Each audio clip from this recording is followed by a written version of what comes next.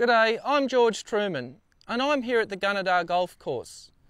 I'm going to provide you with some tips on how you can improve your water use efficiency in commercial and industrial applications.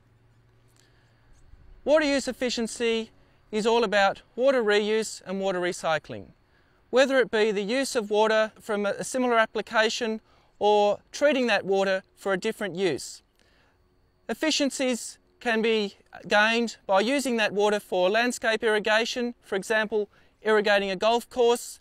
It can be used for agricultural irrigation and maybe aesthetic uses such as fountains and fire protection. Whatever you do, this reduces the demand on surface and groundwater resources. Water recycling is about using the water for the same use, however treating it. And this can further improve water use efficiency by reducing their demand on potable water supplies.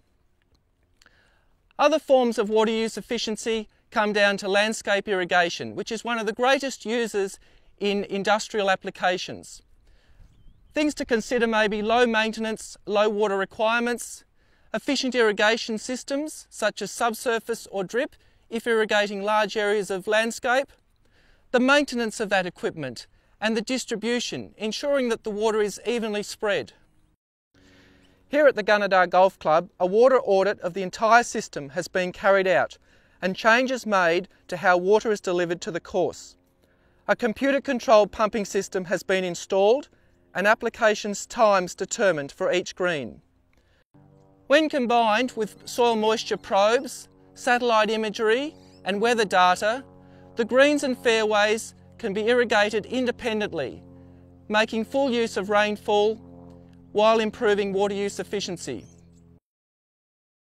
Although technology can assist, understanding the system and undergoing training and awareness of water use and being able to adjust the system as required is essential.